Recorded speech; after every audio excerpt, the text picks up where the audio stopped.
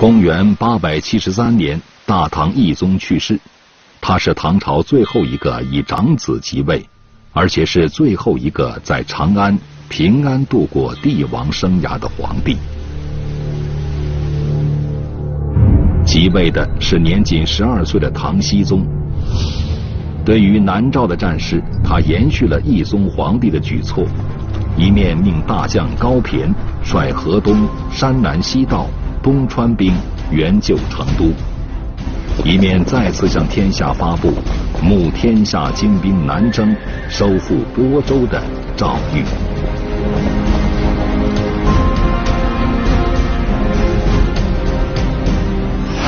关于这份诏谕，《遵义府志》是这样记载的：唐末，南诏叛县播州，久服未平。熹宗潜伏三年，下诏，募骁勇士，将兵讨之。一时间，应募的各路义军纷纷向播州涌去。大唐与南诏之间的战争，在川南黔北。全面展开。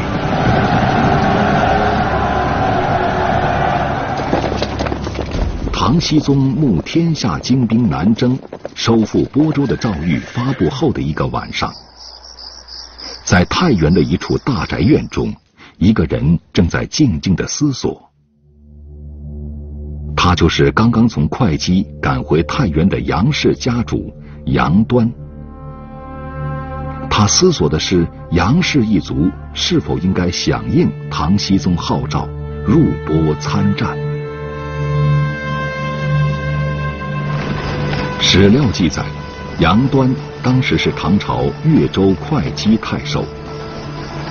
唐王朝建立后，把天下共划分三百六十州，太守即一州的最高长官，集军政大权于一身。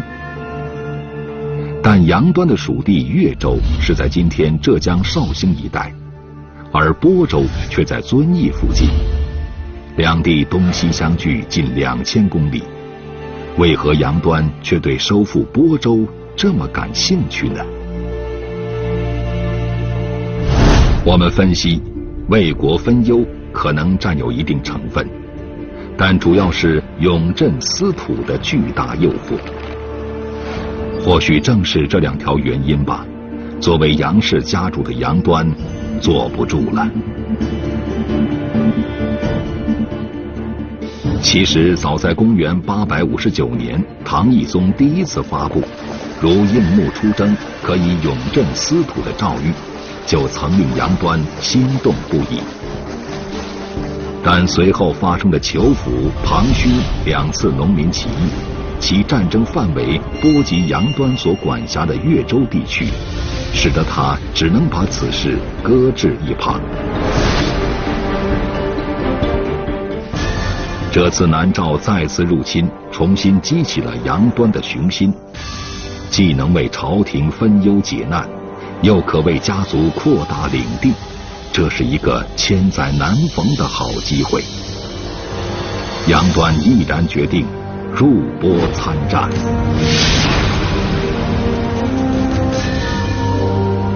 杨端要率军南征的奏折正合唐僖宗心意，于是立刻准奏。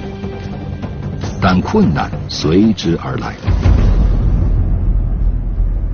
按大唐律法，除非是朝廷任命出征的将军，否则各地州府士兵必须要镇守地方。不能随意跨境出击。换句话说，杨端治下的越州士兵不能带走。在朝廷看来，杨端南征是为朝廷分忧的个人行为，他的兵马自然要自己解决。那么，收复播州，兵从哪儿来呢？自西汉以来，在中国各地诞生了一支新兴势力——豪门世家，又称门阀。他们拥有雄厚的资本，有自己的家兵，权倾一方，代代相传。与割据一方的地方势力不同，这些豪门世家既不割据，也不与中央政府对抗。相反，他们还积极参与政治。历朝历代的绝大多数官员多出自这些豪门世家，但这些豪族有一个共同特征：事事把家族发展放在第一位。所谓家国天下，在豪门世家看来，也就是先家族而后国家。东汉末黄巾起义时，各豪门世家为镇压农民起义和争夺地盘，曾大肆扩充家，并使之成为公开的私人军队。这个传统一直延续下来。杨端的本家正是太原的豪门世家，杨端寄予希望的就是动用家族的这支私人军队。此时的唐王朝虽然平息了裘府、庞勋两次大规模农民起义，但中原各地因唐王朝政治黑暗、官吏贪腐所积累的阶级矛盾，并没有因此解决，反而愈演愈烈，随时可能爆发。杨端当此不测之时，举族中精锐，从陕西太原远赴千里之外的播州参战。无疑具有一定的风险。不过，经过反复的权衡，杨端还是决定赌一把。公元八百七十六年，怀着为朝廷分忧解难、为家族扩大领地的美好愿望，杨端率领与杨氏一族血脉相连的八姓族兵四千余人出发了。杨端进来的时候，他的军队呢是由嗯八大姓的家丁所组成的，就是令符、陈、赵、由、楼、梁、韦、谢八姓。这八姓世代依附于杨氏一族，相互间多有血缘关系，凝聚力极强。杨氏在太原以武立足。历朝历代都有族人入朝为将，尚武风气浓重。八姓族兵每日会在庄园里集体练习骑射和战法战技，配合默契。